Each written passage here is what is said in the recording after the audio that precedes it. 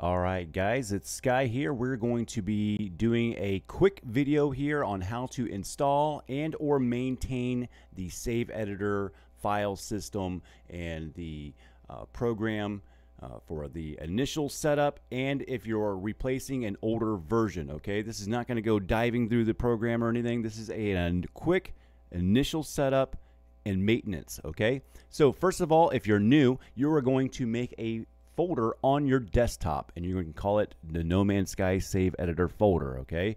I would also make a PC Banks folder if you're going to be doing some uh, modding and things like that. Have these things uh, quick accessible so you can get in and out of them fairly quickly. Okay. So the next thing that you're going to want to do is go to github.com forward slash goat fungus forward slash nms save editor. I love seeing goatfungus, goat fungus. Okay. The link is down there in the description. Go ahead and look for it. You can click on it and get there. All right, now that you're there, you're going to hit this green code button and download the zip folder, okay? Boom, yeah. Once you've downloaded this, you unzip it, all right? Unzip everything and then uh, drag that into your folder that you have made on your desktop, which is right here. You can see mine. And if you're new, boom, you got your folder here. Uh, until uh, you, you won't see the backups and export it until you open up your uh, save editor, and then these folders will be created. If you're a older existing player and you've had the folder already, all you're going to do is grab these files or the just the executable jar file in the new um, packet that you just downloaded and move it over to your old folder and replace it.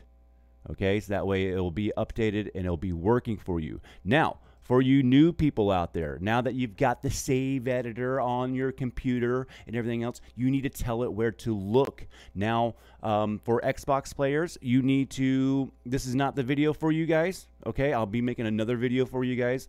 Um, but your secret is is like uh, they're they're hidden in Windows file system. So you need to uh, open up the Windows file systems and look for your games there for the Steam users, okay? This is going to be in your C drive users, whatever your name is, whatever you named your computer, app data, roaming, hello games, NMS, and then you'll see your save editor uh, slots there. We can go ahead and maybe take a, a look at it really quickly here. Um, we can reverse this and go backwards, and you can kind of see what's going on here. Roaming, uh, yeah where am I at? I gotta back up here. I, I lost my bearings here. I'm in roaming. Okay, so then you're in Hello Games. The file tree goes a little bit weird here. So you have to you have to look through and, and um um yeah you have to cycle through and find where you're going through. Obviously, I'm having a hard time. It's going to be the next one. No, Hello Games right there. Uh, we open that NMS, and then you can see that you uh, you can see my Sky Masters uh, saves here. So and then, then open that up. So your C drive users app data, roaming, hello games, NMS, and then it's going to be there. And then once you open that up, you can see all your saves right here. Okay, underneath this um, is a uh, is your save files, and when you start using the save editor, and um, it'll start gathering uh, backups automatically. It's the most powerful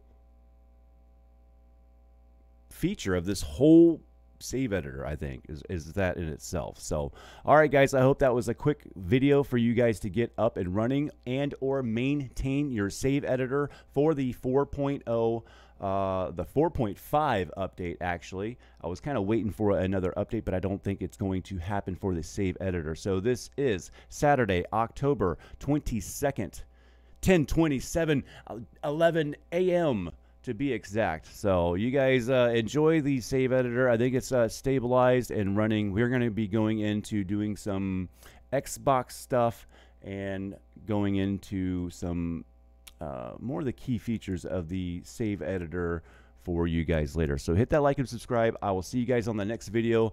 Uh, call somebody up and tell them you love them, and I'll see you guys then.